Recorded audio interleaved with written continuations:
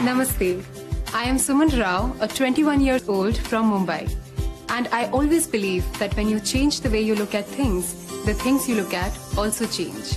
And this has really helped me to move ahead in life. Winning Miss World would allow me to extend freedom to other women in my community and all across the world. It is this mission and my passion to ensure that my life is about something greater than myself that makes me want to be a Miss World.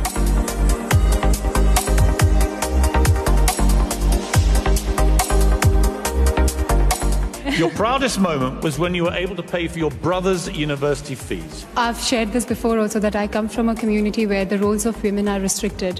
In fact, my mother has faced a lot and despite of the fact that she has faced all the odds of our community, still she raised me, she allowed me to choose my own dreams, to follow my path and just be what I want to be. And that's what made me able to be an independent woman at this age where other women in my community are still struggling to have equal rights. Excellent answer.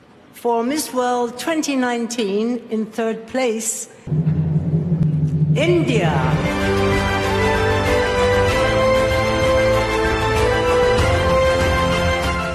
And Miss World Asia 2019, it's India. I make shots, I miss lots. I tell you get big box, you get yachts, you swing lots and pop off a big shot.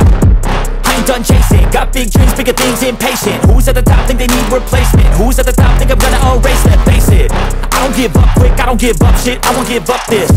Cause I know that I want it, know that I'm on it, I'll make it, I promise.